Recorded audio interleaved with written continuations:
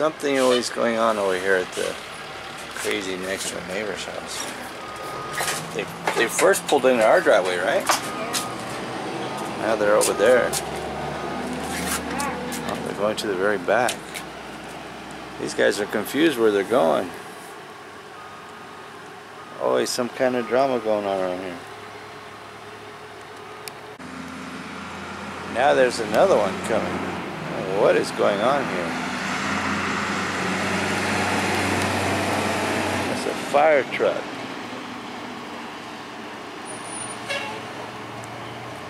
Check out that moon.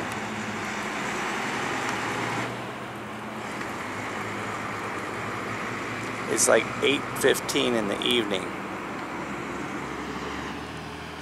This guy's still sitting in this driveway over here.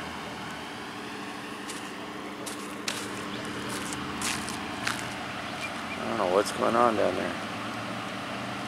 Either cops are showing up down there or ambulances. Today it's fire trucks. First time I've seen fire trucks here.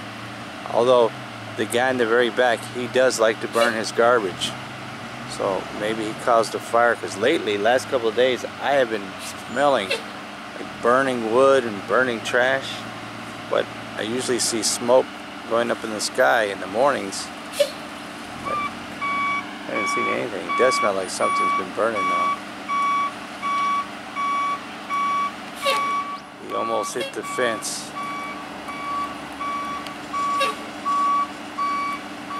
Now the sheriff has showed up. It's the sheriff right there. I don't know what's going on. This is like watching an episode of Cops. There's the sheriff's department.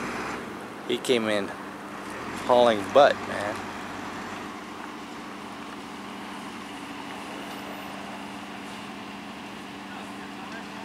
Just sitting over there.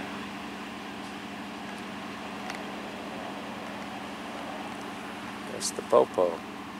Now they're gonna go in the pit bull neighbor's yard.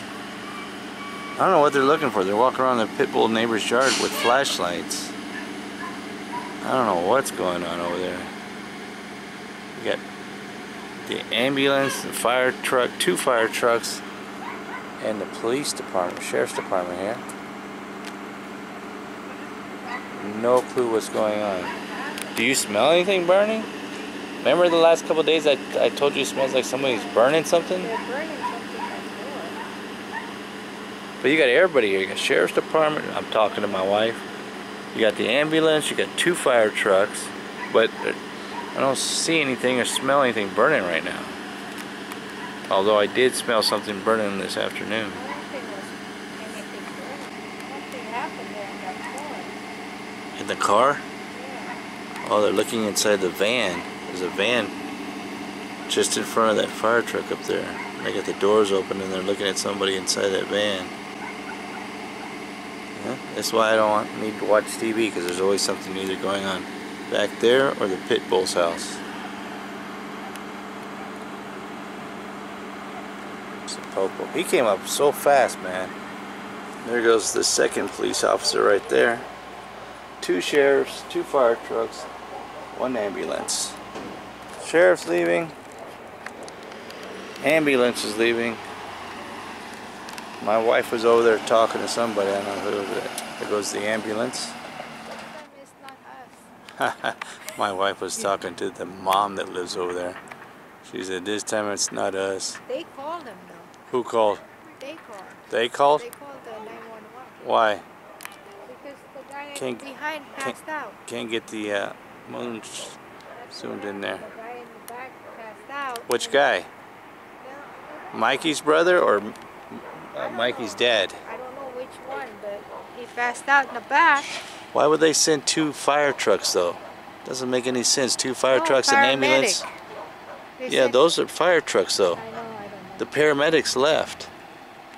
Yeah, two fire trucks, the paramedics, and two sheriff's department showed up. Yes, yeah, two sheriffs. No, the sheriff right The first. sheriff, the sheriff department is always going back there for some reason, and then they always leave. They never, nobody ever gets arrested around here. No, Nobody. he didn't want to go to the hospital. Uh, So yeah, but even when the sheriffs do show up, nobody ever gets arrested. That's why I don't bother calling the sheriff's department.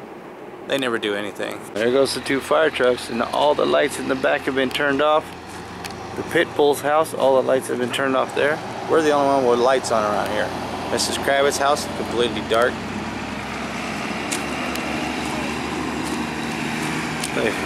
Huh? I don't know.